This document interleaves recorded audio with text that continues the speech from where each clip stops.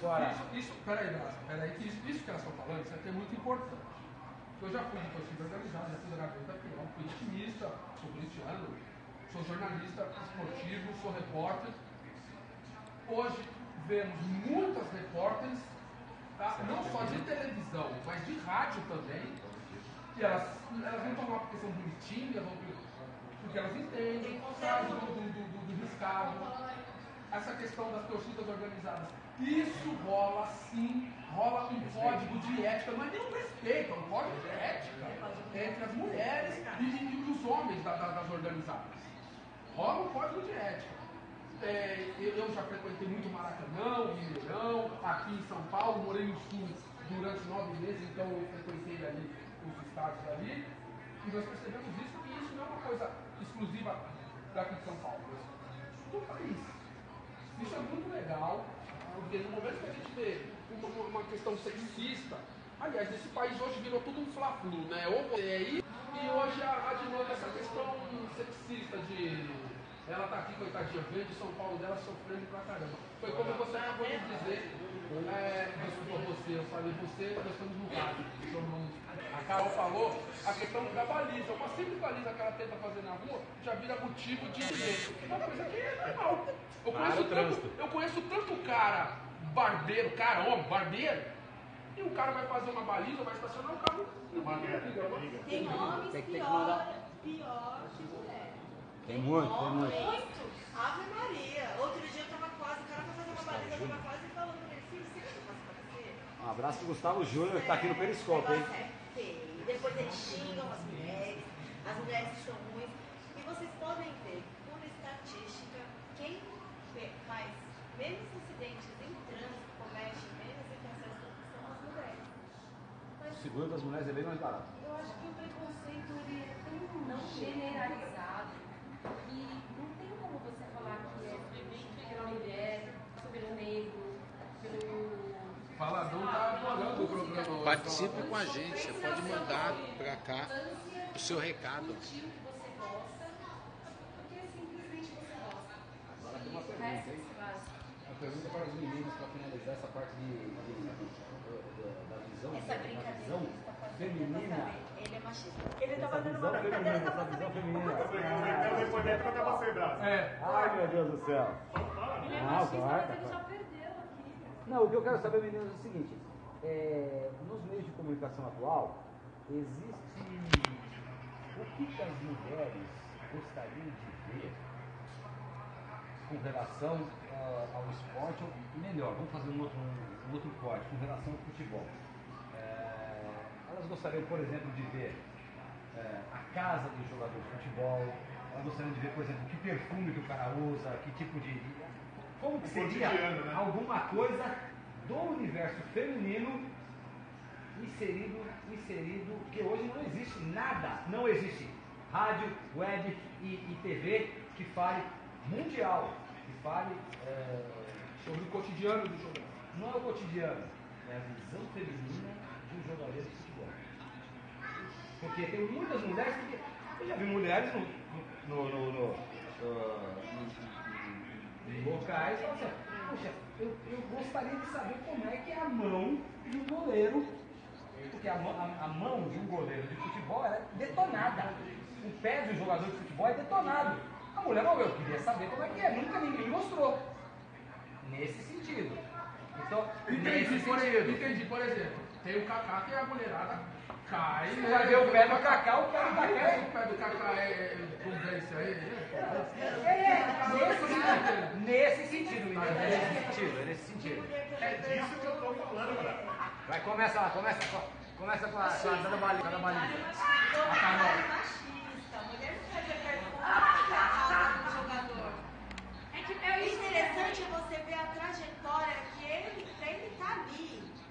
O que ele passou. Você- Vocês ainda acham que a gente vê futebol para ver as pernas do jogador, para ver a beleza do jogador? Isso Felipe. antes, mas hoje em dia não. Hoje a gente torce pelo nosso time, hoje a gente vai no estádio pelo nosso time, com os nossos namorados, não para olhar a perna do jogador, mesmo porque isso não é interessante. A gente quer vibrar pelo time. E dane-se o jogador. Né? Quem Brasa tá se ferrando aqui nos comentários. O Brasa se lascou agora. Aí, ó. Assim, corpo de jogador, o que ele usa, o que ele faz é o de menos. Eu, por exemplo, eu conheci o Falcão pessoalmente. é, Gente boa. é, o Falcão ele é cliente da empresa que eu trabalho. É um cara que eu conheci um pouco mais profundamente, que eu posso dizer assim, porque nós tivemos, fizemos alguns negócios. E assim, é um cara super vaidoso, é um cara sim que se cuida bastante. Eu acho que é natural de todo, todo artista. Ele é sem dúvida um dos melhores jogadores, o melhor, O melhor. jogador de futebol. Tem uma imagem excelente diante do mercado. Mas assim, é, mas é, indiscutivelmente o mais importante é ele joga muito bem, independente da imagem dele ou de como ele se veste, ou o que, que era interessante no momento para a gente fazer um negócio. Era se ele era bonito ou se a imagem dele ou se ele era um bom jogador e todo mundo gostava dele. Ou seja, o cara é bom, ele é interessante para fazer um negócio, então é isso. E a mulherada é assim que ela se, se relaciona agora com esses assuntos, independente de Show de é bola. muita futilidade você achar Show de que bola. a assiste futebol pra ver as pernas, pra ver como o cara se veste, corte de cabelo. Não, não é mais. Isso pode ser que antigamente existia, mas hoje em dia não. Hoje em dia o nosso interesse é realmente pelo esporte, pelo time. Você sabe uma coisa que eu até choro que eu gostaria de ver de novo? Gostaria de ver uma seleção brasileira feminina. Isso eu gostaria de ver demais. Isso, porque eu, eu, tava no, eu tava assistindo quando o Brasil foi pentacampeão e eu chorei. Essa foi lindo. E eu sinto muita falta do Brasil, da seleção, jogar um futebol foda, jogar um futebol temido, entendeu? Da seleção ser temida. O que você achou do 7 Hum? 7x1 foi o dia do meu aniversário. Do meu aniversário do ano passado. Gol da Alemanha.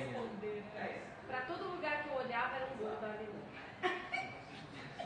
E todo mundo falava, nossa, Cris, você ganhou muitos chocolates. Presente. Tadinha da Cris, velho. Ó, ó, ela- Você, você, você tinha que ver, tinha que ter uma câmera aqui, assim. Tem a câmera, tá? Não, tem mas- Tá gravado, vai pro YouTube. Tá aqui do lado meu, esse cabelo, olha aí, ó. Tanto que não fez. Cara, a carinha dela fazia dá até dó. Porque realmente, vocês estão de parabéns. Não, eu tô falando sério, não tô brincando. As perguntas do Brasa têm um fundamento, ele não fez essas perguntas.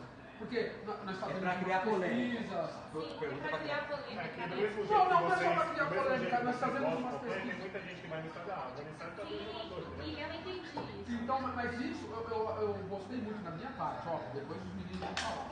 Que vocês estão de parabéns. Porque eu, como mesmo futebol, é, é o meu irmão, futebol, jornalismo, eu fico feliz de ver as mulheres também chegando lá, discutindo com homens igual na mesa de bar, é, na mesma altura, no mesmo, com a mesma condição. Os caras perdem a, os caras perdem a linha facilmente. Já, ô, A mulher meninas, é muito mais meninas, inteligente na hora de argumentar e discutir. Meninas. É, então, a Meninas, mulher que já- acompanha, ela consegue discutir legal. já aconteceu alguma vez de um- de um cara que diz que manja de futebol e vocês deram uma, um- um- uma rasteira? Como é que fica a cara do cidadão? Olha, eu vou te falar uma verdade, eu, a Cris, aquela que torce pra Lusa, que torce pra São Paulo. Que torce pra Não, eu torço pra Lusa e torço pra São Paulo. São os meus dois times, porque um é... Ela é candidata a vereadora, parece pra todo time. É sempre tudo Tudo menos é Corinthians. Paulo é... veio da portuguesa, né? Mas enfim, é... eu realmente parei de acompanhar o futebol, isso é muito verdade. Eu parei de acompanhar o futebol porque eu acho que o futebol é uma brincadeira, que a gente tá... o que a gente está ganhando com isso?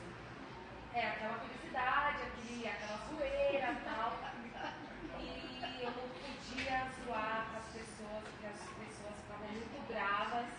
E por esse motivo eu parei de acompanhar o futebol. Juro mesmo. Interessante essa. Interessante essa. a- a- É a primeira vez que eu, que eu ouço. E- mas tem fundamento. Lógico que tem.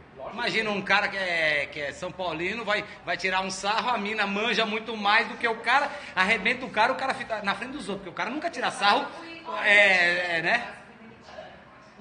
Porque eu comecei a brincar e isso eu tava falando da Lusa. Da Lusa. Eu tava falando da Lusa. E o cara era São Paulino. Vão participando aí, gente. Vocês podem mandar o seu WhatsApp para 11 96829 1749. Participe conosco. Aí tipo, não, mas blá blá blá. E o meu também alterou. Mas você tinha conteúdo, você tava com mais conteúdo naquela Naquele briga. momento sim, naquele momento eu tava. A, a fase da Lusa favorecia. da Lusa, do São Paulo, os dois favoreciam. Mas o que eu tava falando pra ele, eu tava falando da Lusa mesmo, e ele achou que eu tava brigando com ele por causa do São Paulo e da Lusa. E não tem nem o que discutir, gente, pelo amor de Deus. Então, assim. Aí depois desse dia eu falei assim, ah, não, não quero mais. Não foi a primeira vez. Mas você acha que foi por causa você, que você mulher, estava zoando ele ou por falta de. Foi ele, eu tava argumentando com ele, eu tava numa brincadeira. Pênalti no Morumbi. E os homens levam Pênalti pro Ceará ou pro São Paulo? Pênalti para o Ceará. Moiou, moiou. Olhou. Pênalti para o Ceará. Ai, desculpa, amiga. Mas.